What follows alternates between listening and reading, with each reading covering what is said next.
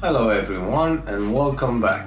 Today we are going to discuss about how to cut the CAD model in Calypso.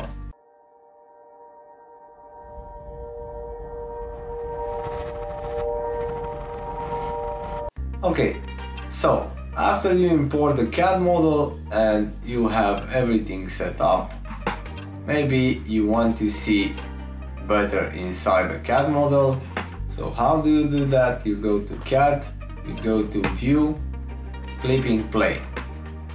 Now you have to select which axis you want the clipping plane to be on. Remember, it works exactly like you would do a normal on a point.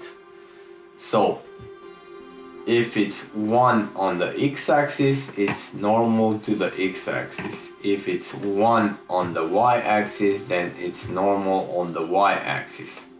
Okay? Okay, and if it's 1 on the z-axis, it's normal on the z-axis. And now you have to select the distances, for example, let's say that it's zero and you can see the cat the cutting of the CAD model.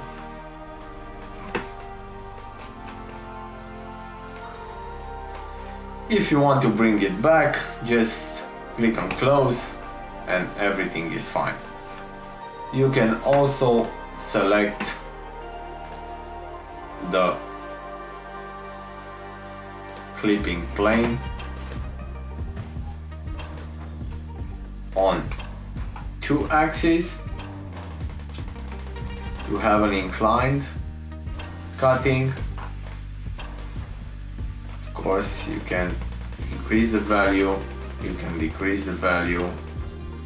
To have it exactly like you want it.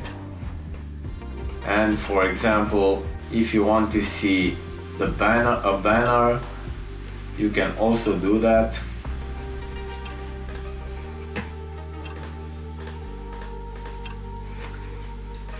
Okay and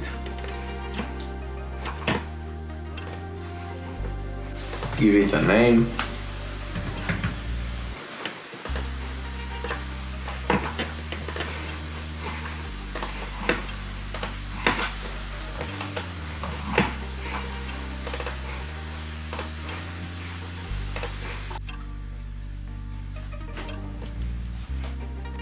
and you can see it exactly like this.